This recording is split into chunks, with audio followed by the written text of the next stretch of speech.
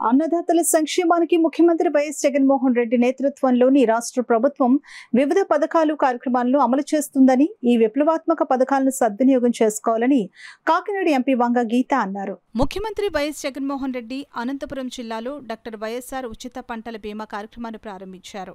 ఖరీఫ్ రెండు వేల ఇరవై రెండులో ప్రకృతి వైపరీత్యాల వల్ల పంట నష్టం వాటిల్లిన రైతుల ఖాతాల్లో పంట బీమా పరిహారాన్ని జమ చేసే ఈ కార్యక్రమానికి కాకినాడ జిల్లా కలెక్టరేట్ వివేకానంద హాల్లో ఏర్పాటు చేసిన జిల్లా స్థాయి కార్యక్రమం నుంచి వర్చువల్గా ఎంపీ వంగ గీత జిల్లా కలెక్టర్ డాక్టర్ కృతికా శుక్లా జిల్లా వ్యవసాయ ప్రధానాధికారి ఎన్ విజయ్ కుమార్ జిల్లా వ్యవసాయ సలహా మండలి చైర్పర్సన్ ఎల్ ప్రసాద్ వివిధ ప్రాంతాలకు చెందిన రైతులు అధికారులు హాజరయ్యారు.